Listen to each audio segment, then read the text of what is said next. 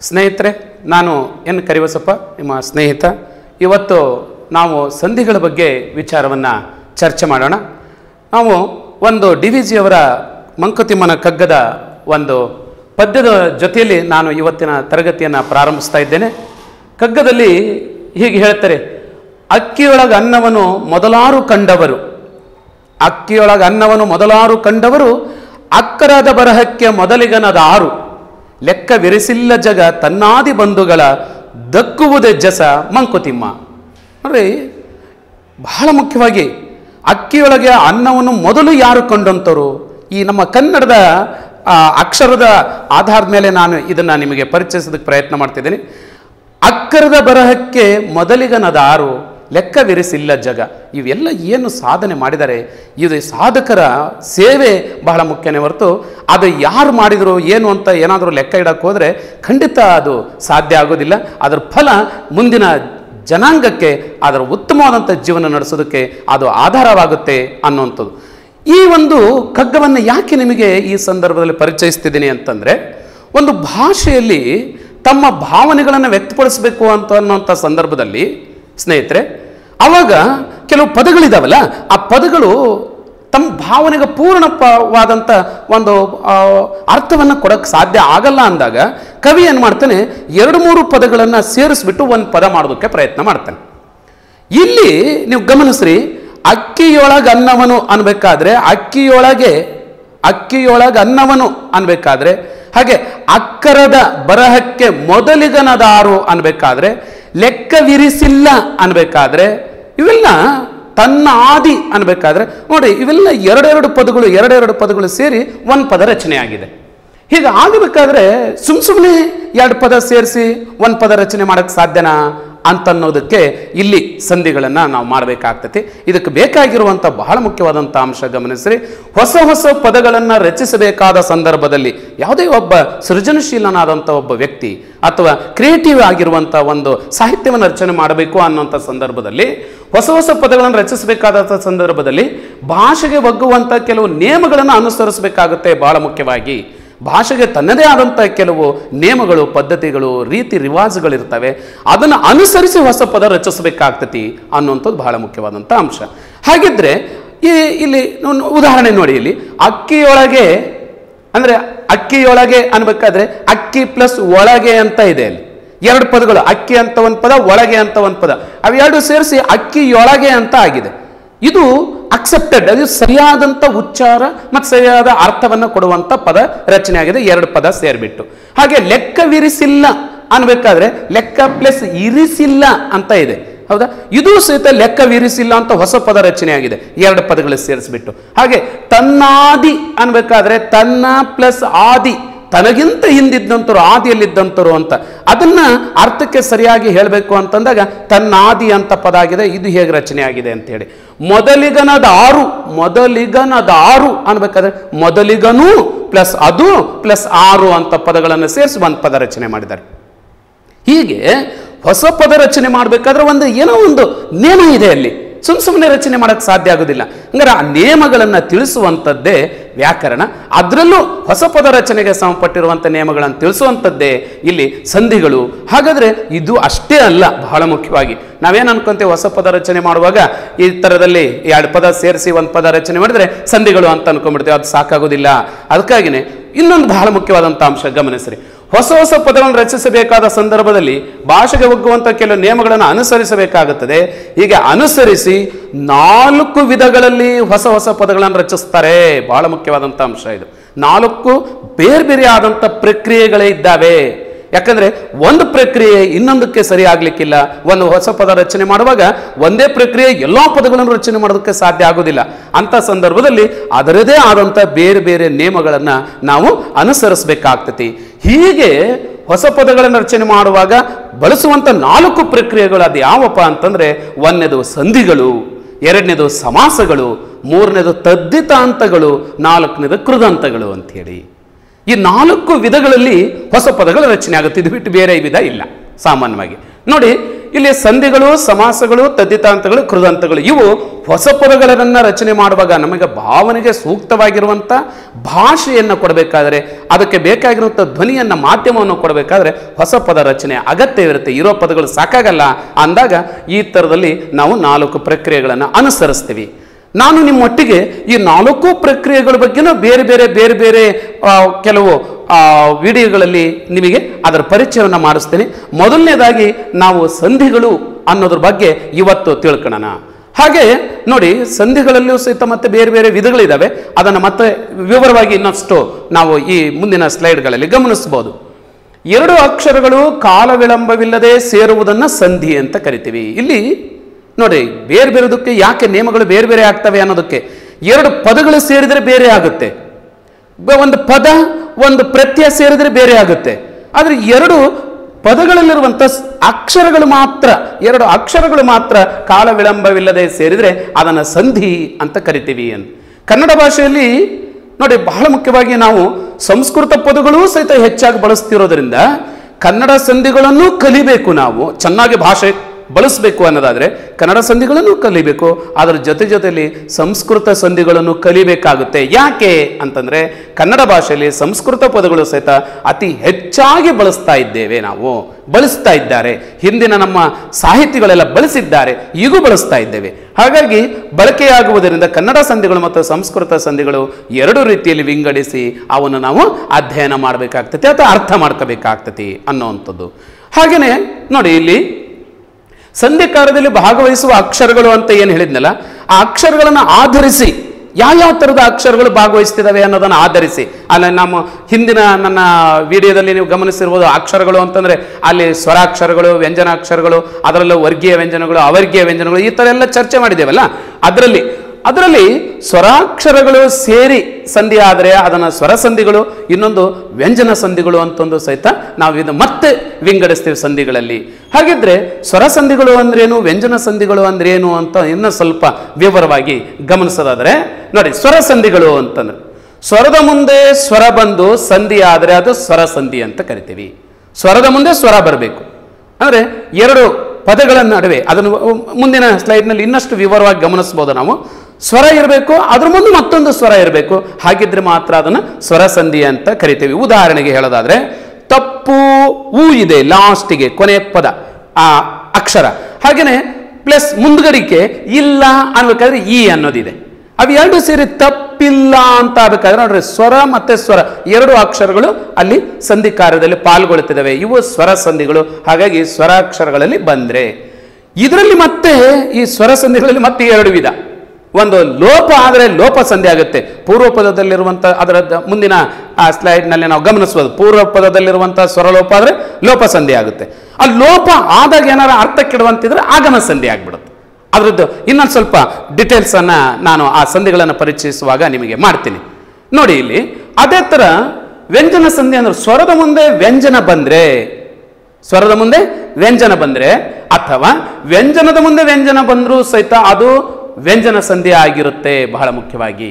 ನೋಡಿ, ಅಂತ ಸಂಧಿ ಯಾವುದು ಅಂತಂದ್ರೆ ಕನ್ನಡ ವ್ಯಂಜನ ಸಂಧಿ ಅಂದ್ರೆ ಒಂದೇ ಒಂದಿದೆ, ಅದು ಆದೇಶ ಸಂಧಿ. ಕನ್ನಡದಲ್ಲಿ ಬಹಳ ಮುಖ್ಯವಾಗಿ ನೀವು ಗಮನಿಸ್ರಿ, ಕನ್ನಡ ಪದಗಳು ಕನ್ನಡ ಪ್ಲಸ್ ಕನ್ನಡ ಪದ ಅಥವಾ ಕನ್ನಡ ಪ್ಲಸ್ ಸಂಸ್ಕೃತ ಪದ. ಇದ್ರೂ ಸಹಿತ ಅದು ಕನ್ನಡ ಸಂಧಿಯಲ್ಲಿ ಗಮನಿಸಬೇಕಾಗತ್ತೆ. ಅದರಲ್ಲಿ ಕನ್ನಡ ಸಂಧಿಯಲ್ಲಿ ನಾವು ಸ್ವರ ಸಂಧಿಯಲ್ಲಿ ಎರಡು, ಲೋಪ ಸಂಧಿ ಮತ್ತೆ ಆಗಮ ಸಂಧಿ, ಮತ್ತೆ ವ್ಯಂಜನ ಸಂಧಿಗಳಲ್ಲಿ ಒಂದು, ಆದೇಶ ಸಂಧಿ ಅಂತ ಹೇಳಿ ಈಗ ನಾನು ಇನ್ನೊಂದು ಸ್ವಲ್ಪ ನಿಮಗೆ ಇದರ ವಿವರವನ್ನು, ಸಂಧಿಗಳ ವಿಧಗಳನ್ನು ನಾವು ಪರಿಚಯಿಸುವಾಗ ಇನ್ನೊಂದು ಸ್ವಲ್ಪ ವಿವರವನ್ನು ಗಮನಿಸೋಣ. ಎರಡೂ ಕನ್ನಡ ಪ್ಲಸ್ ಕನ್ನಡ ಶಬ್ದಗಳು ಸೇರಿದರೆ, ಎರಡು ಕನ್ನಡ ಪ್ಲಸ್ ಕನ್ನಡ ಶಬ್ದಗಳು ಸೇರಿದರೆ ಅದು ಕನ್ನಡ ಸಂಧಿ ಆಗಿರುತ್ತೆ. ಇನ್ನೊಂದು ಒಂದು ಕನ್ನಡ ಶಬ್ದ, ಒಂದು ಸಂಸ್ಕೃತ ಶಬ್ದ ಸೇರಿದರೂ ಸಹಿತ, ಅದು ಸಹಿತ ಕನ್ನಡ ಸಂಧಿ ಆಗಿರುತ್ತೆ. ಕನ್ನಡ ಸಂಧಿಯಲ್ಲಿ ಗಮನಿಸಬೇಕು. ಇದು ಬಹಳ ಮುಖ್ಯವಾದಂಥ ಒಂದು ಕಾನ್ಸೆಪ್ಟನ್ನು ನಾವು ಬಹಳ ಮುಖ್ಯವಾಗಿ ಪ್ರಾರಂಭದಲ್ಲಿ ಮನನ ಮಾಡ್ಕೋಬೇಕಾಗ್ತತಿ ಅನ್ನೋವಂಥದ್ದು ಸ್ನೇಹಿತರೆ. ನೆಕ್ಸ್ಟ್ ನೋಡಿ, ಉದಾಹರಣೆ ಒಂದು ಕೊಡ್ತಾ ಇದ್ದೇನೆ ಇಲ್ಲಿ ನಾನು. ಕನ್ನಡ ಮತ್ತು ಕನ್ನಡ, ನೋಡಿ, ಕನ್ನಡ ಕನ್ನಡ ಸೇರಿದಾಗ ಕನ್ನಡ ಸಂಧಿ ಆಗುತ್ತೆ ಅಂತ. ನಾವು ಪ್ಲಸ್ ಎಲ್ಲ, ನಾವೆಲ್ಲ ಅನ್ಬೇಕಾದ್ರೆ ನಾವು ಅನ್ನೋದು ಕನ್ನಡ ಪದ, ಎಲ್ಲ ಅನ್ನೋದು ಸಹಿತ ಕನ್ನಡ ಪದ, ನಾವೆಲ್ಲ ಅನ್ನೋದು ಕನ್ನಡ ಪದ ಆಗಿ, ಹೊಸದಾಗಿ ಒಂದು ಕನ್ನಡ ಸಂಧಿಯಲ್ಲಿ ಅದು ಹೊಸ ಪದ ರಚನೆ ಆಗಿದೆ ಇನ್ನೊಂದು ಗುರು ಅನ್ನೋದು ಐತಲ್ಲ, ಅದು ಕನ್ನಡ ಕನ್ನಡ ಪದ ಆದಂಗೆ ಆಗ್ಬಿಟ್ಟಿದೆ ನಮಗೆ ಸಾಮಾನ್ಯವಾಗಿ. ಅದನ್ನು ನೋಡಿ ಉದಾಹರಣೆ, ಗುರು ಬ್ರಹ್ಮ, ಗುರು ವಿಷ್ಣು, ಗುರುದೇವೋ ಮಹೇಶ್ವರ, ಗುರು ಸಾಕ್ಷಾತ್ ಪರಬ್ರಹ್ಮ, ತಸ್ಮೈ ಶ್ರೀ ಗುರುವೇ ನಮಃ ಅನ್ಬೇಕಾದ್ರೆ ಗುರು ಅನ್ನೋ ಪದ ಇದೆಯಲ್ಲ, ಅದು ಕನ್ನಡದ ಅಲ್ಲ. ಬಹಳ ಮುಖ್ಯವಾಗಿ ಇದನ್ನು ನಾವು ಅರ್ಥ ಮಾಡ್ಕೋಬೇಕು. ಆದರೆ ಅದು ಬಳಸ್ತಾ ಬಳಸ್ತಾ ಕನ್ನಡ ಆಗ್ಬಿಟ್ಟಿದೆ ನಮಗೆ. ಹಾಗೆ ಗುರು ಅಂತ ಅನ್ನೋದು ಸಂಸ್ಕೃತ ಪದ, ಮತ್ತೆ ಅನ್ನು ಅನ್ನೋದಿದೆಯಲ್ಲ ಇದು ಕನ್ನಡ ಪದ ಅದು. ಅಥವಾ ಕನ್ನಡ ಅನ್ನುವಂಥದ್ದು ಪದ ಅದು. ಅಥವಾ ಅದನ್ನು ಪ್ರತ್ಯಯ ಅಂತಂದು ಹೇಳ್ಬೋದು ಅದನ್ನು. ಇದರಲ್ಲಿ ದ್ವಿತೀಯ ವಿಭಕ್ತಿ ಪ್ರತ್ಯಯದಲ್ಲೂ ಬಳಕೆ ಮಾಡ್ತೀವಿ ನಾವು. ಆದರೆ ಇಲ್ಲಿ ಪದವಾಗಿ ಅನ್ನು ಅನ್ನೋದು ಪದವಾಗಿ ಬಳಕೆ ಮಾಡ್ತಾ ಇದ್ದೀವಿ. ಗುರು ಪ್ಲಸ್ ಅನ್ನು ಗುರುವನ್ನು ಅಂತ ಆಗುತ್ತಲ್ಲ, ಇದು ಸಹಿತ ಒಂದು ಕನ್ನಡ ಪದವಾಗಿ ರಚ, ಸಂಧಿಯಲ್ಲಿ ನಾವು ಗಮನಿಸ್ತೇವೆ. ಸಂಸ್ಕೃತ ಪದ, ಕನ್ನಡ ಪದ ಆಗಿದ್ರು ಸಹಿತ ಇದನ್ನು ನಾವು ಕನ್ನಡ ಸಂಧಿಯಲ್ಲೇ ಗಮನಿಸ್ತೇವೆ. ಅಥವಾ ಕನ್ನಡ ಸಂಧಿಯಲ್ಲೇ ನೋಡಬೇಕು. ಹೀಗೆ ಅದರ ಅರ್ಥ. ಬಹಳ ಮುಖ್ಯವಾಗಿ ಕನ್ನಡ ಸಂಧಿಗಳಲ್ಲಿ ಈ ಥರದಲ್ಲಿ ನಾವು ಕನ್ನಡ ಸಂಧಿ ಹೇಗೆ ಆಗುತ್ತೆ ಅನ್ನೋದನ್ನು ನಾವು ಅರ್ಥ ಮಾಡ್ಕೊಳ್ತಿದ್ದ ಇದ್ದೀವಿ. ನೆಕ್ಸ್ಟು ಮುಂದಿನ ನೋಡಿ, ಈಗ ನಾವು ಈ ಕನ್ನಡ ಸಂಧಿಗಳಲ್ಲಿ ನಾವು ಮೂರು ವಿಧಗಳನ್ನು ಅಂತ ನೋಡಿದ್ವಲ್ಲ, ಅದರಲ್ಲಿ ಒಂದನೇದು ಲೋಪ ಸಂಧಿ, ಎರಡನೇದು ಆಗಮ ಸಂಧಿ, ಮೂರನೇದು ಆದೇಶ ಸಂಧಿ. ಹಾಗಿದ್ರೆ ಈ ಲೋಪ ಸಂಧಿ ಅಂತಂದ್ರೆ ಏನು? ಇದು ಸ್ವರ ಸಂಧಿಯಲ್ಲಿ ಬರುವಂಥದ್ದು ಅಂತ ಮೊದಲೇ ಹೇಳಿದೆ ಇನ್ನೊಂದು ಸ್ವರ ಸಂಧಿಯಲ್ಲಿ ಯಾವುದು? ಆಗಮ ಸಂಧಿ. ವ್ಯಂಜನ ಸಂಧಿಯಲ್ಲಿ ಯಾವುದು? ಆದೇಶ ಸಂಧಿ. ಹಾಗಾಗಿ ಸ್ವರ ಸಂಧಿಗಳಲ್ಲಿ, ಕನ್ನಡ ಸ್ವರ ಸಂಧಿಗಳಲ್ಲಿ ನಾವು ಪ್ರಾರಂಭದಲ್ಲಿ ನೋಡುವಂಥದ್ದು ಅಂತಂದ್ರೆ ಲೋಪ ಸಂಧಿ. ಇಲ್ಲಿ ನಿಮಗೆ ಬಹಳ ಚೆನ್ನಾಗಿ ಸ್ಪಷ್ಟವಾಗಿ ಕಾಣ್ತಾ ಇದೆ ನಿಮಗೆ. ಏನು? ಬಹಳ ಸ್ಪಷ್ಟವಾದಂಥ ಒಂದು ಸಂಧಿ ಅರ್ಥ ಇದು. ನೋಡಿ, ಸ್ವರದ ಮುಂದೆ ಸ್ವರ ಬಂದು, ಸ್ವರದ ಮುಂದೆ ಸ್ವರ ಇರಬೇಕು. ಸಂಧಿ ಕಾರ್ಯ ಆದಾಗ, ಅಂದ್ರೆ ಎರಡೂ ಪದಗಳು ಕಾಲ ವಿಳಂಬವಿಲ್ಲದೆ ಸೇರಿದಾಗ, ಇದು ಬಹಳ ಮುಖ್ಯವಾಗಿ ಕಾಲ ವಿಳಂಬವಿಲ್ಲದೆ ಅಂತಂದ್ರೆ ಅವೆರಡು ಕ, ಜಾಸ್ತಿ ಟೈಮ್ ತಗೊಳ್ಳದೆ ಸ್ಪೇಸ್ ತಗೊಳ್ಳದೆ ತಕ್ಷಣವೇ ಉಚ್ಚಾರ ಆಗಬೇಕು, ಒಟ್ಟಿಗೆ ಉಚ್ಚಾರ ಆಗಬೇಕು. ಆ ಥರದಲ್ಲಿ ಬಂದರೆ ಅದನ್ನು ಕಾಲ ವಿಳಂಬ, ಕಾಲ ತಗೊಂಡ್ಲಿಲ್ಲ, ವಿಳಂಬ ಆಗಲಿಲ್ಲ ಅಂತ ಅರ್ಥ. ಹಾಗಾಗಿ ಸ್ವರದ ಮುಂದೆ ಸ್ವರ ಬಂದು ಸಂಧಿ ಆದಾಗ ಪೂರ್ವ ಪದದ ಕೊನೆಯಲ್ಲಿರುವ ಸ್ವರವು ಲೋಪವಾದರೆ ಪೂರ್ವ ಪದ ಮತ್ತೆ ಉತ್ತರ ಪದ ಅಂತ ಕರಿತೀವಿ ನಾವು. ಮೊದಲನೇದಿರೋದು ಪೂರ್ವ ಪದ ಆಮೇಲೆ ಬರೋದು ಉತ್ತರ ಪದ ಆಮೇಲೆ ಬರೋದು ಸಂಧಿ ಪದ ಹಾಗಾಗಿ ಪೂರ್ವ ಪದ ಇದನ್ನು ನಾನು ಮತ್ತೆ ಮತ್ತೆ ಬಳಸ್ತಾ ಇರ್ತೀನಿ. ಪೂರ್ವ ಪದ ಉತ್ತರ ಪದ ಮತ್ತೆ ಸಂಧಿ ಪದ ಅಂತ ಹೇಳ್ತಾ ಇರ್ತೀನಿ ನಾನು ಮಧ್ಯ ಮಧ್ಯದಲ್ಲಿ ಅಂದರೆ ಅದರ ಪರಿಚಯ ಮಾಡಿಸುವಾಗ. ಹಾಗಾಗಿ ಇದು ಚೆನ್ನಾಗಿ ಗೊತ್ತಿರಲಿ ನಿಮಗೆ. ಪೂರ್ವ ಪದ ಮೊದಲನೇ ಬರೋದು ಪೂರ್ವ ಪದ ಪೂರ್ವ ಪದ ಅಂತ ಕರಿತೀವಿ. ಎರಡನೇದು ಅದರ ನೆಕ್ಸ್ಟ್ ಬರುವಂಥದ್ದು ಉತ್ತರ ಪದ ನೆಕ್ಸ್ಟ್ ಇದ್ರ ಮುಂದೆ ರಚನೆ ಆಗೋದು ಹೊಸ ಪದ ಏನು ರಚನೆ ಆಗುತ್ತಲ್ಲ, ಅದು ಸಂಧಿ ಪದ ಅಂತ ಕರಿತೀವಿ. ಸಂಧಿ ಪದ ಅಂತ ಕರಿತೀವಿ. ಇದು ಚೆನ್ನಾಗಿ ಯಾಕೆ ಅಂತಂದ್ರೆ ನಾನು ಇದರ ಏನು ಪ್ರೋಸೆಸ್ ನಡೀತಿರ್ತೈತಿ, ಆ ಪ್ರೋಸೆಸ್ ಅನ್ನ ನಿಮಗೆ ಇಲ್ಲಿ ಪರಿಚಯ ಮಾಡಬೇಕಾಗ್ತೈತಿ. ಅದಕ್ಕಾಗಿನೇ ಪೂರ್ವ ಪದದ ಕೊನೆಯಲ್ಲಿರುವಂತ ಸ್ವರ ಲೋಪವಾದರೆ ಅದು ಅಂತ ಸಂಧಿನ ನಾವು ಲೋಪ ಸಂಧಿ ಅಂತ ಕರಿತೀವಿ. ಸ್ವಲ್ಪ ಉದಾಹರಣೆಯನ್ನ ನೋಡಿದಾಗ ನಿಮಗೆ ಇನ್ನಷ್ಟು ಮನನ ಆಗ್ತೈತಿ. ನೋಡೋಣ, ಉದಾಹರಣೆ ಇದಾವೆ ಇಲ್ಲಿ. ನೋಡಿ, ಲೋಪಸಂಧಿಗೆ ಉದಾಹರಣೆ. ಇಲ್ಲಿ ಮಾತು ಪ್ಲಸ್ ಇಲ್ಲ, ಮಾತಿಲ್ಲ. ನೋಡಿ, ಮಾತು ಪೂರ್ವ ಪದದಲ್ಲಿರುವಂತ ಊಕಾರ, ಮಾತು, ಉ. ಊಕಾರ ಏನಾಗಿದೆ? ಸಂಧಿ ಪದದಲ್ಲಿ ಸಂಧಿ ಪದದಲ್ಲಿ ಮಾತಿಲ್ಲ ಅಂತ ಆಗ್ಬಿಟ್ಟಿದೆ. ಮಾತು ತಾನಲ್ಲಿರುವಂತ ಊಕಾರ ಹೋಗ್ಬಿಟ್ಟು ಎದುರಿಗಿರುವಂತ ಸ್ವರ ಈಯನ್ನ ಸೇರಿಸ್ಕೊಂಡು ತ ಅನ್ನೋದು ಈಯನ್ನು ಸೇರಿಸ್ಕೊಂಡು ಅದು ತೀ ಆಗ್ಬಿಟ್ಟಿದೆ. ಅರ್ಥ ಆತು ಅಂತ ಅನ್ಕೊಂತೀನಿ ನಾನು. ಇಲ್ಲಿ ಮಾತು ಅನ್ಬೇಕಾದ್ರೆ ಇದರಲ್ಲಿರುವಂತ ಊಕಾರ ಪೂರ್ವ ಪದದಂತ ಊಕಾರ ಇಲ್ಲ ಅಂತ ಅನ್ನೋದು ಉತ್ತರ ಪದದಲ್ಲಿರುವಂತ ಈ ಕಾರ ಇವು ಇದರ ಎರಡನ್ನೂ ಸೇರಿದಾಗ ಊಕಾರ ಅನ್ನೋದು ತ ಜೊತೆಗೆ ಇದು ತ ಪ್ಲಸ್ ಊ ಇತ್ತು ಇದ್ರ ಜೊತೆಗೆ. ಇದು ಬಿಟ್ಟು ಹೋಗ್ಬಿಡುತ್ತೆ. ಎರಡು ಗಲಾಟೆ ಮಾಡಕ್ಕೆ ಶುರು ಮಾಡಿಬಿಡ್ತವೆ. ನಾನು ಊ, ನಾನು ತ ಜೊತೆಗಿದ್ದೀನಿ, ಊ ನಾ ಬಿಡಲ್ಲ ಅಂತಂದರೆ ಸಂಧಿ ಕಾರ್ಯ ಆಗುವಾಗ ಕಾಲ ವಿಳಂಬವಿಲ್ಲದೆ ಒಟ್ಟಿಗೆ ಉಚ್ಚಾರ ಆಗಬೇಕಲ್ಲ. ಆವಾಗ ತ ಜಲದಲ್ಲಿರುವಂಥ ಊ ಹೋಗ್ಬಿಟ್ಟು ಈ ಸೇರ್ಕೊಂಡು ಅದೇನಾಗ್ಬಿಡ್ತೈತಿ? ತಿ ಅಂತ ಆಗ್ತೈತಿ. ಆವಾಗ ಮಾ ಹಾಗೆ ಉಳ್ಕೊಳ್ಳುತ್ತೆ ತಿ ಲ ಅಂತ ಆಗುತ್ತೆ ಮಾತಿಲ್ಲ ಅಂತ ಆಗುತ್ತೆ ಇಂಥದನ್ನು ನಾವು ಲೋಪಸಂಧಿ ಅಂತ ಕರಿತೀವಿ. ಇನ್ನಷ್ಟು ಉದಾಹರಣೆ, ಬಹಳ ಮುಖ್ಯವಾಗಿ ನೀವು ಈ ಎರಡನೇ ಉದಾಹರಣೆಯನ್ನು ಗಮನಿಸಬೇಕು ನೀವು. ಎರಡನೇ ಉದಾಹರಣೆಯಲ್ಲಿ ಇದು ಬಹಳ ಕಾಂಪಿಟೇಟಿವ್ ಎಕ್ಸಾಮ್ಗಳಲ್ಲೆಲ್ಲ ಸ್ಪರ್ಧಾತ್ಮಕ ಪರೀಕ್ಷೆಗಳಲ್ಲೆಲ್ಲ ಇದನ್ನು ಕೇಳ್ತಿರ್ತಾರೆ. ಇದನ್ನು ಕೇಳ್ತಾರೆ, ಮತ್ತು ಮೂರನೇ ಉದಾಹರಣೆಯನ್ನು ಕೇಳ್ತಿರ್ತಾರೆ. ಇವೆರಡು ಸ್ವಲ್ಪ ಕನ್ಫ್ಯೂಸ್ ಆಗುವಂಥದ್ದು. ಏನಿದು ಸರಿನಾ ತಪ್ಪ? ಇದೇನು ಆ, ಸವರ್ಣದೀರ್ಘ ಸಂಧಿನ ಅಥವಾ ಲೋಪ ಸಂಧಿನ ಈ ಈ ಥರದಲ್ಲಿ ಗೊಂದಲಕ್ಕೆ ಈಡು ಮಾಡೋದಕ್ಕಾಗಿ ಈ ಥರದ ಉದಾಹರಣೆಗಳನ್ನು ಕೇಳ್ತಾರೆ. ನೋಡ್ರಿ ಊರು ಊ ಊರು ಊ ಇದೆ ಅಲ್ವಾ? ಊ ಇದೆ. ಮತ್ತೆ ಅದ್ರ ಎದುರಿಗೆ ಊ ಮತ್ತೊಂದು ಊ ಇದೆ ಊರು ಅಂತ ಇದೆ. ಹಾಗೆ ಸಂಧಿ ಕಾರ್ಯ ಆಗುವಾಗ ಏನಾಗ್ತದೆ? ಊರೂರು ಅಂತ ಆಗ್ತದೆ. ಇಲ್ಲಿ ಊರು ಊರು ಅಂತನಿದೆ ಇಲ್ಲಿ ಊಕಾರ ಇದೆ. ಎದುರಿಗೆ ಊ ಅನ್ನೋದು ಬಂದಿದೆ. ಇಲ್ಲೇನಾಯ್ತು? ರಾಜಲ್ಲಿ ಇರುವಂತ ಹೂ ಹೋಗ್ಬಿಟ್ಟು ಈ ಊರು ಸೇರಿಕೊಂಡು ರೂ ಅಂತ ಆಗ್ತದೆ. ಹೀಗೆ ಆಗಬೇಕಾದ್ರೆ ಇದರಲ್ಲಿ ಇಲ್ಲೂ ಸಹಿತ ನಾವು ಗಮನಿಸಬೇಕು ಬಹಳ ಮುಖ್ಯವಾಗಿ.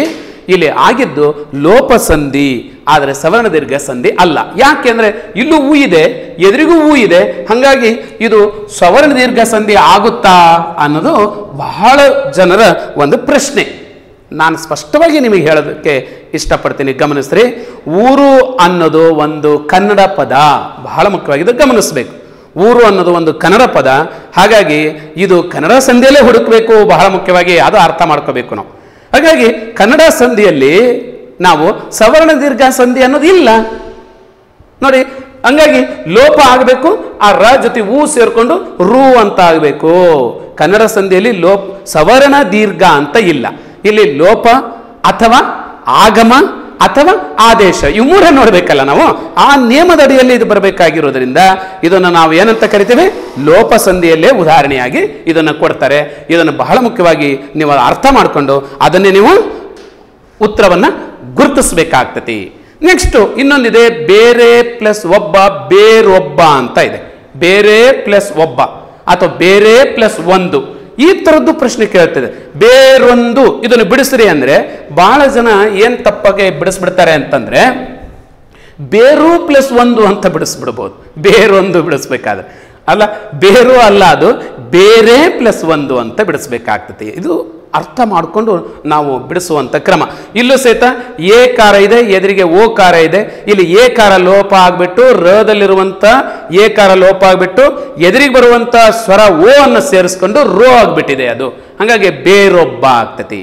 ಹಾಗೆಯೇ ಸುತ್ತು ಪ್ಲಸ್ ಓಲೆ, ಸುತ್ತು ಪ್ಲಸ್ ಓಲೆ, ಇದು ಊಕಾರ ಇದೆ ಇಲ್ಲಿ. ಪೂರ್ವ ಪದದ ಕೊನೆಯಲ್ಲಿ ಊಕಾರ ಇದೆ. ಉತ್ತರ ಪದದ ಆದಿಲಿ ಓಕಾರ ಇದೆ. ಎರಡೂ ಸೇರ್ಗಾಗಿ ಏನಾಗ್ತೈತಿ? ಕಾಲ ವಿಳಂಬವಿಲ್ಲದೆ ಸೇರಿ ಹೊಸ ಪದ ರಚನೆ ಆಗುವಾಗ ತನಲ್ಲಿ ಪೂರ್ವ ಪದದಲ್ಲಿರುವಂತ ಊಕಾರ ಲೋಪ ಆಗಿಬಿಟ್ಟು ಓ ತ ಅನ್ನೋದು ಓ ಸೇರಿಸ್ಕೊಂಡು ತೋ ಆಗ್ಬಿಡ್ತೈತಿ. ಹಾಗಾಗಿ ಇಲ್ಲಿ ಊಕಾರ ಲೋಪ ಆಗಿದೆ. ಹಾಗಾಗಿ ಇದು ಸಹಿತ ಇಲ್ಲಿ ಲೋಪಸಂದಿಗೆ ಇರುವಂಥ ಉದಾಹರಣೆಗಳು. ಲೋಪಸಂದೆ ಸ್ಪಷ್ಟವಾಗಿ ನಿಮಗೆ ಅರ್ಥ ಆಯ್ತು ಅಂತ ಅಂದ್ಕೊಂಡಿದ್ದೀನಿ ನೋಡಿ ಲೋಪಸಂಧಿ ಅನ್ಬೇಕಾದ್ರೆ ಪೂರ್ವ ಪದದಲ್ಲಿರುವಂಥ ಪೂರ್ವ ಪದದಲ್ಲಿರುವಂಥ ಸ್ವರ ಲೋಪ ಆಗಬೇಕು. ಅಷ್ಟೇ, ಅಷ್ಟಾಗ್ಬಿಟ್ರೆ ಆ ಎದುರಿಗಿರುವಂಥ ಸ್ವರವನ್ನ ಆ ವ್ಯಂಜನ ಸೇರಿಸ್ಕೊಂಡು ಹೊಸ ಅಕ್ಷರ ರಚನೆ ಆಗ್ತತಿ. ಹೀಗಾದ್ರೆ ಇದನ್ನು ನಾವು ಲೋಪಸಂಧಿ ಅಂತ ಕರಿತೀವಿ. ಇನ್ನೊಂದು ಸಂಧಿ, ಬಹಳ ಮುಖ್ಯವಾದಂಥ ಇನ್ನೊಂದು, ಬಹಳ ವಿಶೇಷವಾದಂಥ ಇನ್ನೊಂದು ಸಂಧಿ ಇದೆ. ಅದು ಆಗಮ ಸಂಧಿ ಅಂತ. ಆಗಮ ಸಂಧಿ. ಆಗಮ ಆಗಮ ಅಂದ್ರೆ ಬಾ ಅಂತ ಅರ್ಥ. ಆ್ಯಕ್ಚುಲಿ ಗಮನಿಸ್ರಿ, ಅಲ್ಲಿ ಸ್ವರದ ಮುಂದೆ ಸ್ವರ ಬಂದು ಸಂಧಿ ಆದಾಗ, ಸ್ವರದ ಮುಂದೆ ಸ್ವರ ಬಂದಾಗ ಸಂಧಿ ಆಗ್ತತಿ. ಹಂಗಾದಾಗ ಪೂರ್ವ ಪದದ ಕೊನೆಯಲ್ಲಿರುವಂಥ ನಾವೇನು ಲೋಪ ಸಂಧಿದ ಎಕ್ಸಾಂಪಲ್ ಅನ್ನು ಹೇಳ್ತಾ ಇದ್ದೀನಿ ನಾನು. ಡೆಫಿನೇಷನ್ ಹೇಳ್ತಾ ಇದ್ದೀನಿ. ಪೂರ್ವ ಪದದ ಕೊನೆಯ ಸ್ವರಾಕ್ಷರು ಲೋಪವಾದರೆ ಅವಾಗ ಏನಾಗ್ತತಿ? ಆ ಸಂಧಿ ಪದದ ಅರ್ಥವು ಕೆಡುತ್ತಿದ್, ಕೆಡುವಂತಿದ್ದರೆ ಲೋಪ ಆಗ್ಬಿಡ್ತಪ್ಪ. ಉದಾಹರಣೆಗೆ ಹೇಳ್ತೀನಿ ನಾನು. ಇಲ್ಲಿ ಉದಾಹರಣೆಗೆ ಮನೆ ಪ್ಲಸ್ ಇಲ್ಲ ಅಂತ ಅನ್ ಅನ್ಕೊಳ್ಳಿ. ಆಗ ಏನಾಗಬೇಕು? ಇಲ್ಲಿ ಮನೆ ನಾ ನಲ್ಲಿರುವಂಥ ಏಕಾರ. ನಾನಲ್ಲಿರುವಂಥ ಏಕಾರ, ಎದುರಿಗೆ ಈ ಇದೆ. ಅಲ್ವಾ? ಇಲ್ಲಿ ಏಕಾರ ಲೋಪ ಆಗಿಬಿಟ್ರೆ ನಾ ಜೊತೆಗೆ ಸೇರ್ಕೊಂಡು ಅವಾಗ ಏನಾಗ್ಬಿಡ್ತು? ನೀ ಆಗ್ಬಿಡ್ತೈತೆ ಇದ್ರ ಅರ್ಥ ಏನಾಗ್ಬಿಡ್ತು? ಮನಿಲ್ಲ ಆಗ್ಬಿಡ್ತೈತಿ ಆಗಬೇಕಾಗಿರೋದೇನಿದು? ಮನೆ ಪ್ಲಸ್ ಇಲ್ಲ, ಮನೆ ಇಲ್ಲ ಅಂತ ಆಗಬೇಕು. ನಮ್ಮ ದೇಶದಲ್ಲಿ ಸಾಕಷ್ಟು ಜನರಿಗೆ ವಸತಿ ಇಲ್ಲ, ಮನೆ ಇಲ್ಲ ಅಂತ ಹೇಳಬೇಕಾಗಿದೆ. ಆದ್ರೆ ಏನಾಗ್ಬಿಡ್ತು? ಇದು ಸಂಧಿ ಕಾರ್ಯ ಮಾಡುವಾಗ ಮನೆ ಪ್ಲಸ್ ಇಲ್ಲ ಅಂತ ಹೇಳಬೇಕಾಗಿದೆ. ಹಂಗೆ ಹೇಳುವಾಗ ಮನೆ ಪ್ಲಸ್ ಇಲ್ಲಿ ನೇನಲ್ಲಿರುವಂತ ಏಕಾರ ಲೋಪ ಆಗ್ಬಿಟ್ರೆ ಸಂಧಿ ಪದದ ಅರ್ಥ ಕೆಟ್ಟ ಹೋಗ್ಬಿಡುತ್ತೆ. ಇಂಥ ಸಂದರ್ಭದಲ್ಲಿ ಏನಾಗ್ತತಿ ಅಂದ್ರೆ ನೋಡಿ, ಒಂದು ಭಾಷೆ ಎಷ್ಟು ಚೆನ್ನಾಗಿ ತಾನು ಹೆಂಗೆ ಅಡ್ಜಸ್ಟ್ ಆಗಿ ಭಾಷೆ ತನ್ನ ಉಳಿವಿಗೆ ಅಥವಾ ತನ್ನ ಹೊಸತನಕ್ಕೆ ಒಡ್ಕೊಳ್ಳುತ್ತೆ ಅನ್ನೋದನ್ನು ಗಮನಿಸ್ರಿ. ಇಲ್ಲಿ ಮನಿಲ್ಲ ಅಂದ್ಬಿಟ್ರೆ ಅರ್ಥ ಕೆಟ್ಟೋಗ್ಬಿಡ್ತು ನಾವು ಹೇಳ್ಬೇಕಾದ್ರೆ ಮನೆ ಇಲ್ಲ ಅಂತ ಆಗ್ಬೇಕು. ಹಾಗಾಗಿ ಏನಾಯ್ತು? ಈ ಅರ್ಥ ಕೆಡುವಂತಿದ್ದರೆ ಏನಾಗುತ್ತೆ? ಅಂತ ಸಂದರ್ಭದಲ್ಲಿ ಆ ಹೊಸದಾಗಿ ಯ ಅಕ್ಷರ ಅಥವಾ ವ ಅನ್ನುವಂಥ ವ್ಯಂಜನಾಕ್ಷರಗಳು ಬರುತ್ತವೆ. ಇದನ್ನೇ ಆಗಮ ಅಂತ ಕರಿತೀವಿ. ನೋಡ್ರಿ, ಮನೆ ಅನ್ನೋದರಲ್ಲೂ ಯ ಅಥವಾ ವಾ ಇಲ್ಲ. ನೋಡ್ರಿ, ಇದು ಏನಾಗಬೇಕು? ಮನೆ ಇಲ್ಲ ಆಗಬೇಕಿದು. ನೋಡಿ, ಇಲ್ಲ ಅಂತ ಆಗಬೇಕು. ನೋಡಿ ಇಲ್ಲಿಯೂ ಸಹಿತ ಯ ಅನ್ನೋದಿಲ್ಲ. ಇಲ್ಲಿ ಉತ್ತರ ಪದದಲ್ಲಿ ಯ ಅನ್ನೋದಿಲ್ಲ. ಆದರೆ ಇಲ್ಲಿ ಸಂಧಿ ಪದದಲ್ಲಿ ಏನಾಗ್ಬಿಡ್ತು? ಈ ಸಂಧಿ ಪದದಲ್ಲಿ ಹಿಂಗೆ ಅರ್ಥ ಕೆಡುವಂತಿದ್ದಾಗ ಹೊಸದಾಗಿ ಇನ್ನೊಂದು ಅಕ್ಷರ ಬಂದು ಅವು ಎರಡೂ ಪದಗಳ, ಅವು ಎರಡೂ ಪದಗಳ ಮಧ್ಯೆ ಇನ್ನೊಂದು ಹೊಸ ಅಕ್ಷರ ವ್ಯಂಜನ ಬಂದು ಸೇರುತ್ತೆ. ಇದನ್ನೇ ನಾವು ಆಗಮ ಅಂತ ಕರಿತೀವಿ. ಇಲ್ಲದ ಅಕ್ಷರ ಹೊಸದಾಗಿ ಬಂದ್ರೆ ಇದನ್ನು ಆಗಮ ಅಂತ ಕರಿತೀವಿ. ಇದು ಬಹಳ ಮುಖ್ಯವಾದಂಥ ಅಂಶ. ಆಗಮ ಅಂತಂದ್ರೆ ಏನು ಅಂದ್ರೆ ಪೂರ್ವ ಪದದಲ್ಲೂ ಇರಬಾರ್ದು ಉತ್ತರ ಪದದಲ್ಲೂ ಇರಬಾರ್ದು, ಆದರೆ ಸಂಧಿ ಪದದಲ್ಲಿ ಏನಾಗಬೇಕು? ಅರ್ಥ ಕೆಡುವಂತಿದ್ದಾಗ ಹೊಸ ಅಕ್ಷರ ಬಂದು ಸೇರ್ಕಂತೇಳುತ್ತೆ ಅದನ್ನು ನಾವು ಆಗಮ ಅಂತ ಕರಿತೀವಿ. ಅದು ಆಗಮ ಆಗಬೇಕಾದ್ರೂ ಸಹಿತ ಎರಡು ಅಕ್ಷರಗಳು. ಏನು? ಯಾ ಬರಬೇಕು, ಇಲ್ಲಿದ್ರೆ ವಾ ಬರಬೇಕು. ಅದರದ್ದು ವಿವರವನ್ನು ನೀವು ಗಮನಿಸ್ತಾ ಇದ್ದೀರಿ. ಹೊಸದಾಗಿ ಯಾ ಬರಬೇಕು ಅಥವಾ ವಾ ಬರಬೇಕು? ಹಿಂಗೆ ಬಂದರೆ ಇದನ್ನು ನಾವು ಆಗಮ ಸಂಧಿ ಅಂತಂದು ಗುರುತಿಸ್ತೇವೆ. ಆ ನಿಯಮದ ಅಡಿಯಲ್ಲಿ ಆ ಪದಗಳನ್ನು ಗಮನಿಸಬೇಕು. ಇನ್ನಷ್ಟು ಉದಾಹರಣೆಗಳನ್ನು ನಾವಿಲ್ಲಿ ಗಮನಿಸ್ಬೋದು ನೋಡಿ. ಆಗಮ ಸಂಧಿಯ ಉದಾಹರಣೆಗಳನ್ನು. ಹೇಗೆ ಹೇಗೆ ಬರುತ್ತೆ ಅಂತ. ಮರ ಪ್ಲಸ್ ಅನ್ನು, ಮರವನ್ನು ಅಂತ ಆಗಿದೆ. ವ ಅನ್ನೋದು ಅಲ್ಲಿ ಆಗಮ ಆಗಿದೆ. ವ ಅನ್ನುವಂಥ ಅಕ್ಷರ ಆಗಮ ಆಗಿದೆ.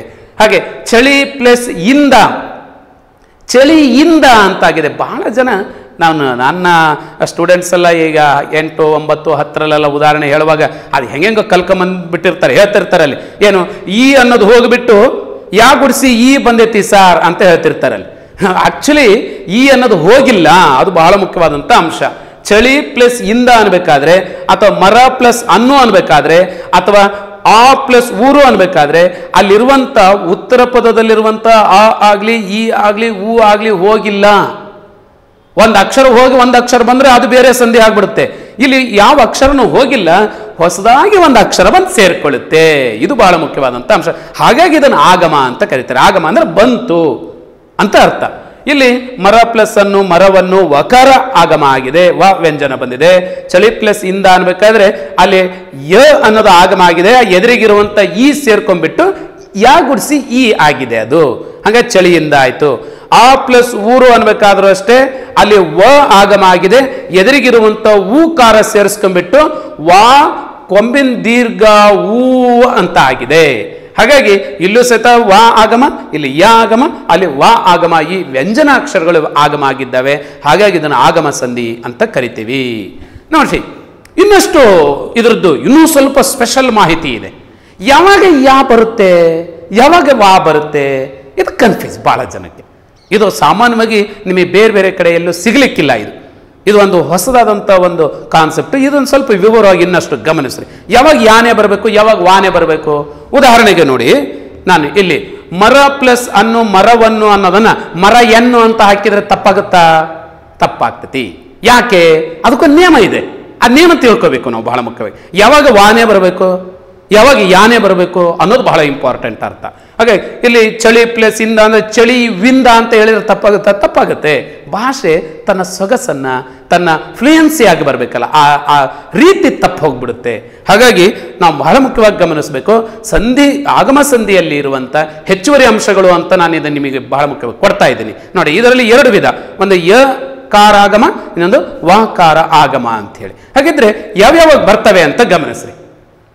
ಯಾಕಾರ ಆಗಮ ಯಾವಾಗ ಬರುತ್ತೆ? ಪೂರ್ವ ಪದದ ಅಂತ್ಯದಲ್ಲಿ, ಈ ಪೂರ್ವಪದ ಅಂತ ನಾನು ಅದೇ ಮೊದಲು ಮೊದಲು ಮತ್ತೆ ಮತ್ತೆ ಹೇಳ್ತಾ ಇರ್ತೀನಿ ಅಂತ ಅಂದಿದ್ದೆ ನಿಮಗೆ. ಪೂರ್ವಪದದ ಕೊನೆಯಲ್ಲಿ ಕೊನೆಯಲ್ಲಿ, ಪೂರ್ವಪದದ ಅಂತ್ಯದಲ್ಲಿ, ಆ ಅಥವಾ ಇ, ಈ, ಎ ಐ ಸ್ವರಗಳು ಇದ್ರೆ, ಅದ್ರ ಮುಂದೆ ಯಾವುದೇ ಸ್ವರ ಬರಲಿ, ಅದ್ರ ಮುಂದೆ ಯಾವ್ದಾರ ಬರಲಿ, ಅದೇ ಇದೆ ಅಂತೇನಿಲ್ಲ ನಮ್ಗೆ ಬಹಳ ಇಂಪಾರ್ಟೆಂಟ್ ಇಲ್ಲಿ ಏನಿದೆ ಅಂತ. ಎ ಅನ್ನೋದಿದ್ರೆ ಅಲ್ಲಿ ಯ ಅನ್ನೋದೇ ಬರಬೇಕು. ಆ ಅನ್ನೋದಿದ್ರೆ ಯ ಅನ್ನೋದೇ ಬರಬೇಕು.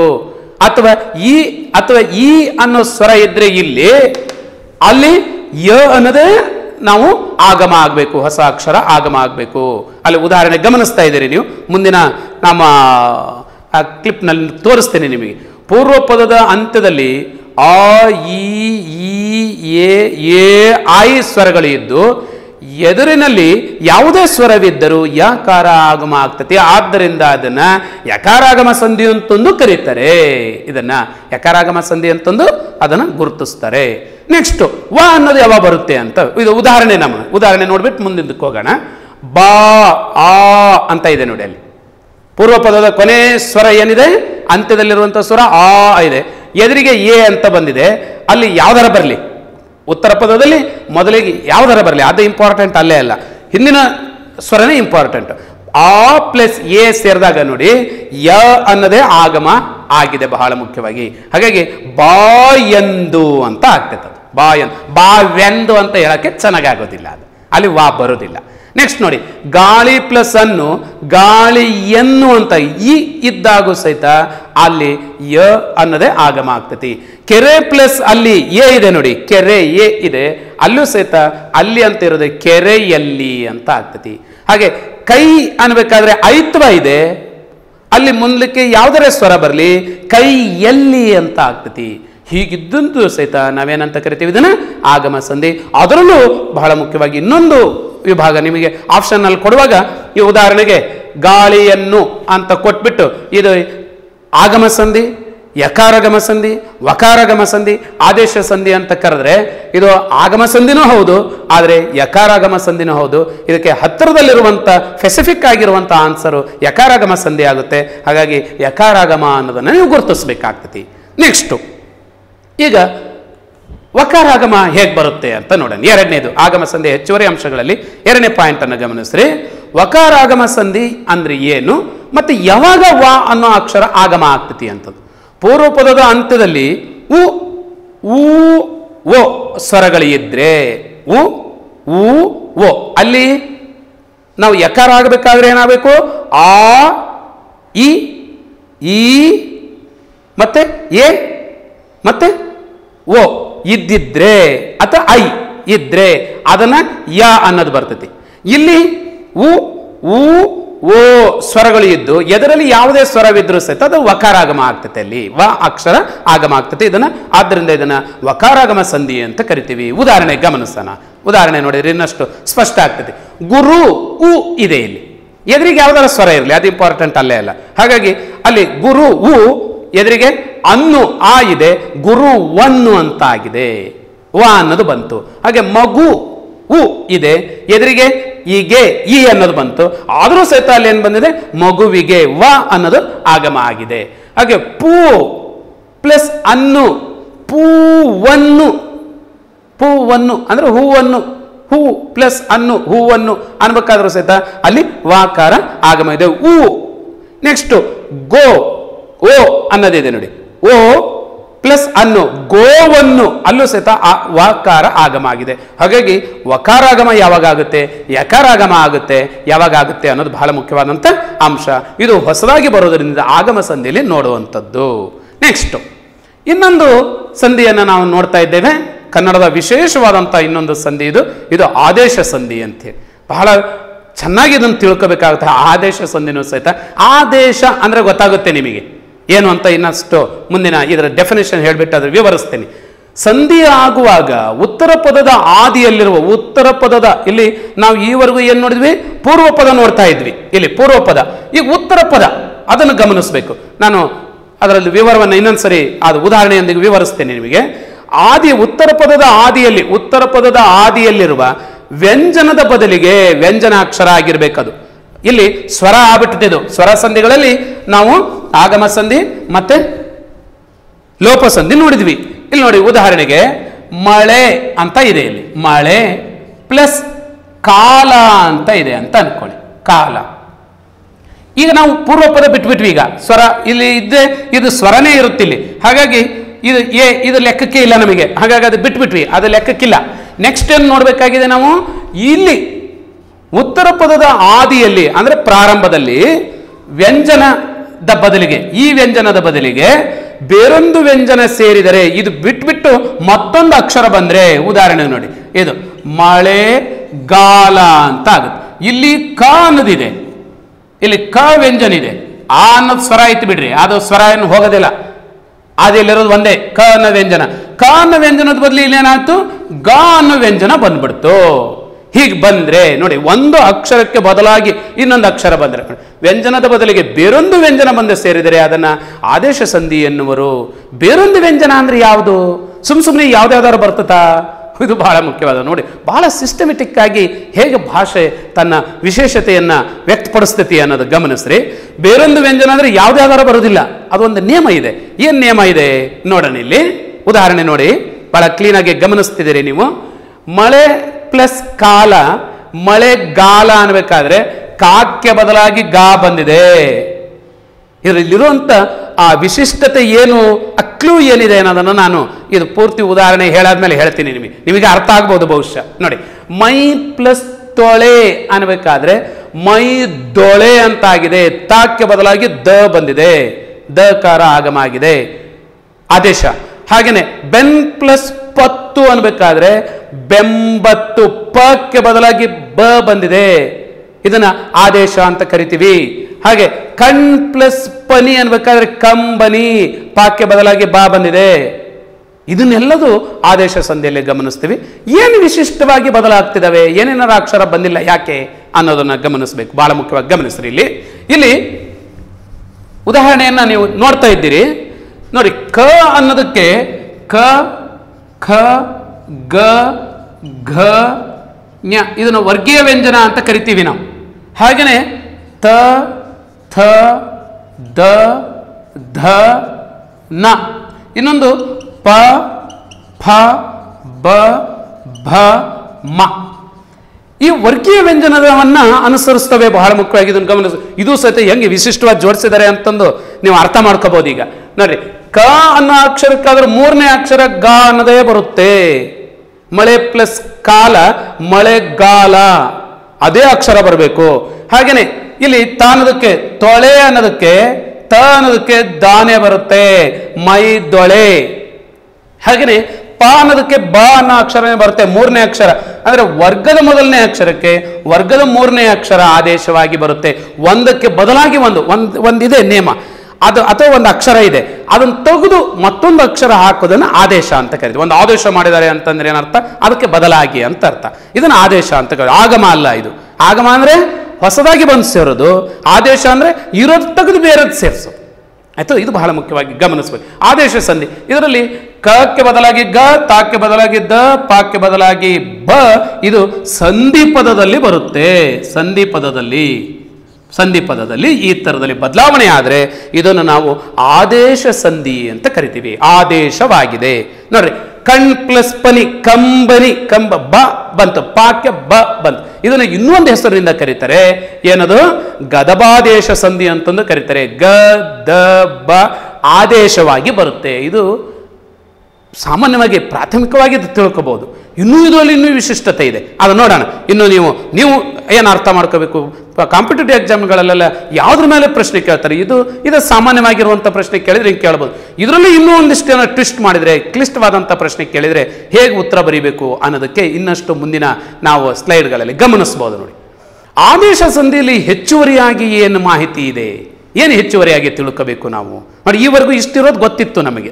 ಈಗ ನೋಡಿ ಉತ್ತರ ಪದದ ಆದಿಯಲ್ಲಿರುವ, ಉತ್ತರ ಪದದ ಆದಿಯಲ್ಲಿರುವ, ಉತ್ತರ ಪದ ಅಂತ ಏನು? ನಾನು ಸಂಧಿ ಪೂರ್ವ ಪದ ಮತ್ತೆ ಉತ್ತರ ಪದ ಸಂಧಿ ಪದ ಅಂತ ಹೇಳ್ತಿದ್ನಲ್ಲ. ಆ ಉತ್ತರ ಪದದ ಆದಿಯಲ್ಲಿ ಪ್ರಾರಂಭದಲ್ಲಿ ಪ, ಬ, ಮ ವ್ಯಂಜನಗಳಿದ್ರೆ ಅಲ್ಲಿ ವಾಕಾರವು ಸಂಧಿ ಪದದಲ್ಲಿ ಆದೇಶವಾಗಿ ಬರುತ್ತದೆ. ಇದನ್ನು ಸಹಿತ ಸಂಧಿ ಪದದಲ್ಲಿ ಆದೇಶವಾಗಿ ಬರುತ್ತೆ.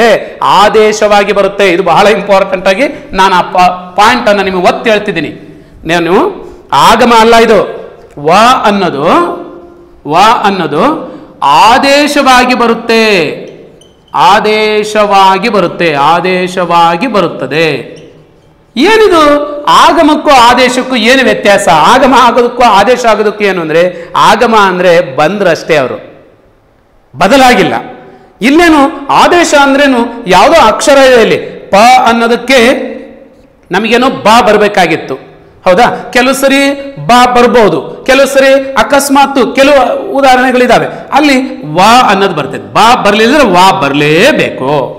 ಹಾಗೇನೆ ಬಾ ಅನ್ನೋದಿದೆಯಪ್ಪ ಇದಕ್ಕೆ ಯಾವ ವರ್ಗೀಯ ವ್ಯಂಜನದಲ್ಲಿ ಮೊದಲನೇ ಅಕ್ಷರ ಪ ಅದಕ್ಕೆ ಬಾ ಬರಬೇಕು. ಆದ್ರೆ ಮೊದಲನೇ ಅಕ್ಷರನೇ ಬಾ ಇದ್ರೆ ಅವಕ್ಕೇನು ಬರಬೇಕಾಗತ್ತೆ?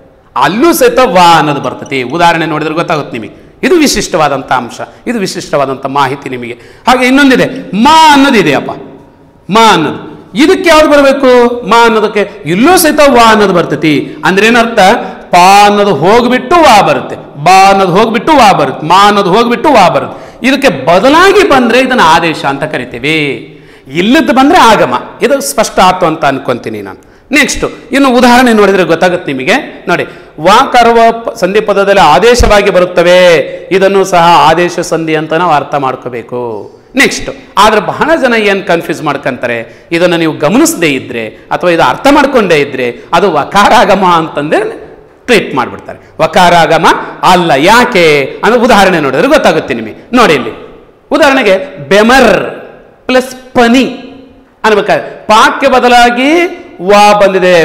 ಬೆಮರ್ವನಿ ಆಗ್ತತಿ. ಬೆಮರ್ವನಿ ವಾ ಬಂದ್ಬಿಡ್ತು, ಇದು ಆಗಮ ಆಗೋದಿಲ್ಲ. ಯಾಕೆ ಆಗಮ ಆಗಲ್ಲ? ಯಾಕೆ ಆಗಮ ಆಗಲ್ಲ? ಇದು ಸ್ವರಸಂಧಿ ಅಲ್ಲ. ಬಹಳ ಮುಖ್ಯವಾಗಿ ಗಮನಿಸಬೇಕು ನೀವು. ಇದು ಸ್ವರಸಂಧಿ ಅಲ್ಲ. ಅಲ್ಲಿ ವ್ಯಂಜನ ಇದೆ. ಎದುರಿಗೂ ವ್ಯಂಜನ ಬಂದಿದೆ. ಹಂಗಾಗಿದು ವ್ಯಂಜನ ಸಂಧಿನೆಯಲ್ಲೇ ನೋಡಬೇಕು ನಾವು. ಅಷ್ಟೇ ಅಲ್ಲ, ಪ ಅನ್ನೋ ಅಕ್ಷರ ಹೋಗ್ಬಿಟ್ಟಿದೆ ಇಲ್ಲ ಸಂಧಿ ಪದದಲ್ಲಿ. ಪ ಅನ್ನೋ ಅಕ್ಷರ ಹೋಗ್ಬಿಟ್ಟಿದೆ. ಅದ್ರ ಬದಲಿ ವಾ ಬಂದಿದೆ. ಹಾಗಾಗಿದು ಇದನ್ನ ಆದೇಶ ಸಂಧಿ ಅಂತ ಕರಿತೀವಿ. ಹಾಗೆ ಎರಡನೇ ಉದಾಹರಣೆ ನೋಡಿ. ಕಡು ಪ್ಲಸ್ ಬೆಳ್ಪು. ಅಂದ್ರೆ ಬಹಳ ಬೆಳ್ಳಗಿದೆ ಅಂತ ಹೇಳಬೇಕು. ಬಹಳ ಅಂತ ಅರ್ಥ ಕಡು ಅಂತಂದ್ರೆ ಕಡು ಪ್ಲಸ್ ಬೆಳಪು, ಕಡು ವೆಳಪು ಆಗ್ಬಿಡುತ್ತೆ, ವೆಳಪು. ನೋಡಿ, ಇಲ್ಲಿ ಬ ಅನ್ನೋಕ್ಕೆ ಬದಲಾಗಿ ವಾ ಬಂದಿದೆ.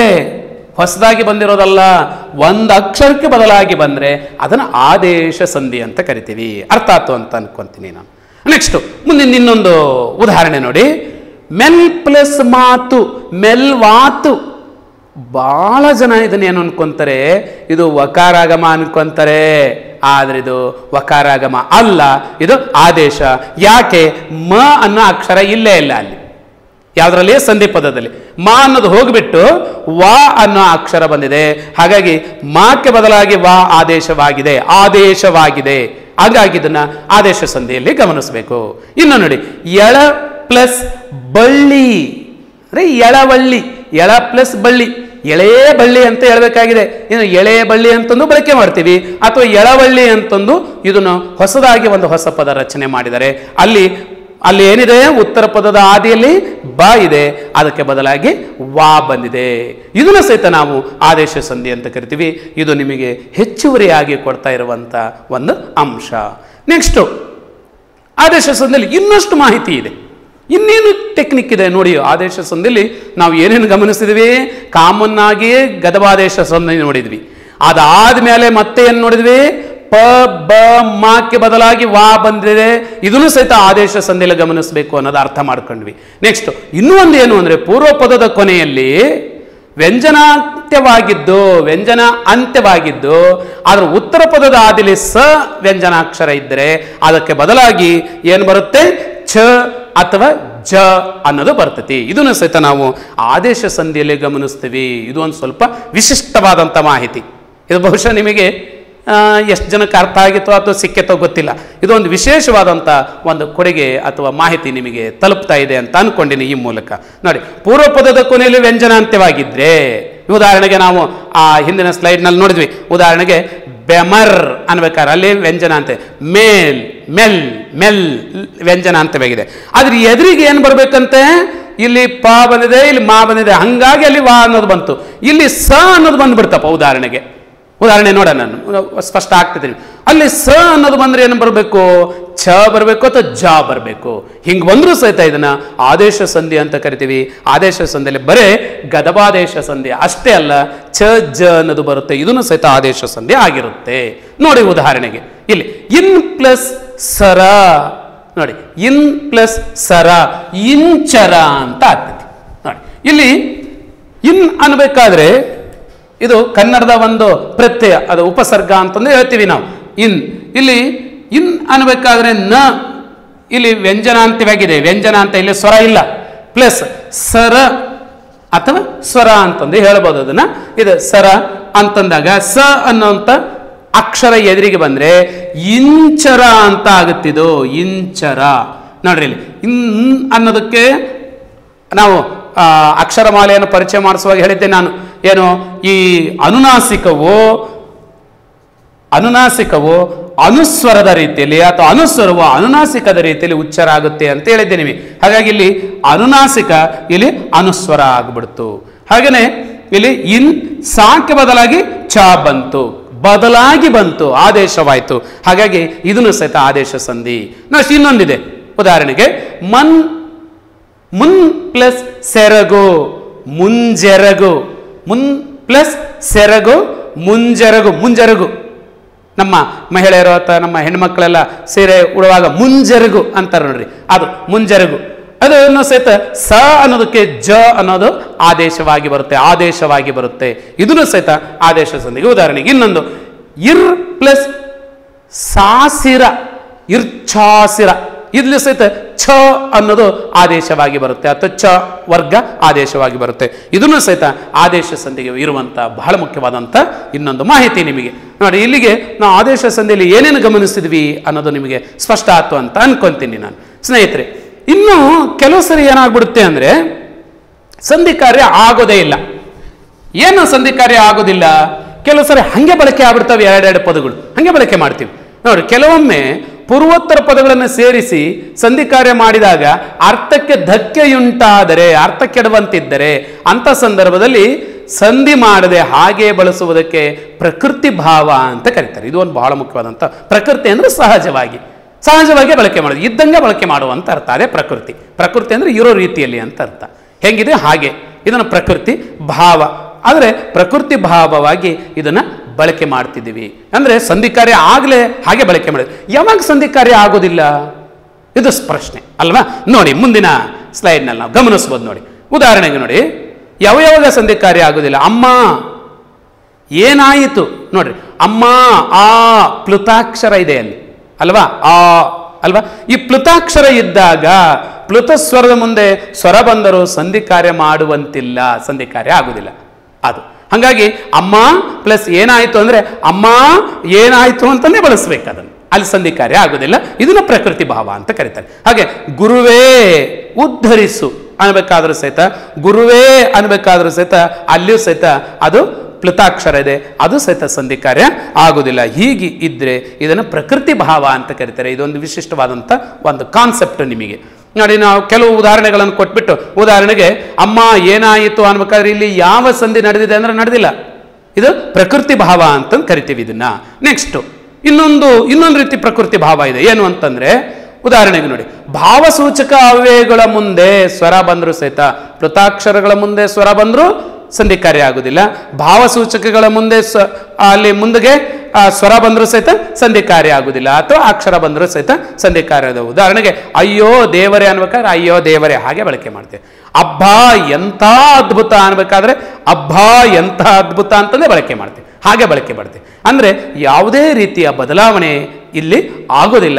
ಇಂಥದನ್ನು ಪ್ರಕೃತಿ ಭಾವ ಅಂತ ಕರೀತಾರೆ. ಇದು ಒಂದು ಮಾಹಿತಿ, ಮುಖ್ಯವಾದಂಥ ಒಂದು ಮಾಹಿತಿ. ಸ್ನೇಹಿತರೆ ನಾವು ಈಗ ಇಷ್ಟು ಸಂಧಿ ಕಾರ್ಯದಲ್ಲಿ ಏನೇನು ಪ್ರಕ್ರಿಯೆಗಳು ಬರ್ತವೆ, ಏನು ಅನ್ನೋದನ್ನು ವಿವರವಾಗಿ ಗಮನಿಸಿದ್ದೀವಿ. ಇನ್ನು ನಾನು ಈವರೆಗೂ ನಿಮ್ಮ ಹತ್ರ ಯಾವ್ದ್ರ ಬಗ್ಗೆ ಮಾತಾಡಿದ್ದೀನಿ ಅಂದರೆ ಸಂಧಿಯಲ್ಲಿ ಕನ್ನಡ ಸಂಧಿಗಳು ಮಾತ್ರ ಚರ್ಚೆ ಮಾಡಿದ್ದೀನಿ. ಮುಂದಿನ ನನ್ನ ವಿಡಿಯೋದಲ್ಲಿ ಸ್ವ, ಸಂಸ್ಕೃತ ಸಂಧಿಗಳನ್ನು ಪರಿಚಯ ಮಾಡಿಸೋಣ. ಅದಾದ ನಂತರ ಈ ಸಮಾಸಗಳನ್ನು ನಾನು ತಗೋಣ ಅಂತ ಯೋಚನೆ ಮಾಡ್ತಾ ಇದ್ದೇನೆ. ನೋಡೋಣ. ಈವರೆಗೂ ನಿಮಗೆ ನಿಮ್ಮ ಹತ್ರ ನಾನು ಸಂಧಿಗಳ ಬಗ್ಗೆ ಚರ್ಚೆ ಮಾಡಿದ್ದೀನಿ. ನಮ್ಮ ಸ ಚಾನಲ್ ಜೊತೆಗೆ ನೀವು ಸಂಪರ್ಕದಲ್ಲಿ ಇರೋದಕ್ಕಾಗಿ ಯಾವಾಗಲೂ ಹೊಸ ಹೊಸ ಇಂಥ ವಿಡಿಯೋಗಳನ್ನು ನೀವು ಗಮನಿಸಬೇಕು ಅನ್ನೋದಾದರೆ ನಮ್ಮ ಚಾನಲ್ಗೆ ಸಬ್ಸ್ಕ್ರೈಬ್ ಮಾಡಿ. ನೀವು ಅಲ್ಲಿ ಪಕ್ಕದಲ್ಲಿ ಒಂದು ಬೆಲ್ ಬಟನ್ ಇದೆ, ಆ ಬೆಲ್ ಬಟನನ್ನು ಒತ್ತಿವೆ ಅಂತ ಹೇಳ್ತಾ, ಹಾಗೆ ನಿಮಗೆಲ್ಲರಿಗೂ ಧನ್ಯವಾದಗಳನ್ನು ಅರ್ಪಿಸ್ತಾ ಇದ್ದೇನೆ. ವಂದನೆಗಳು ವಂದನೆಗಳು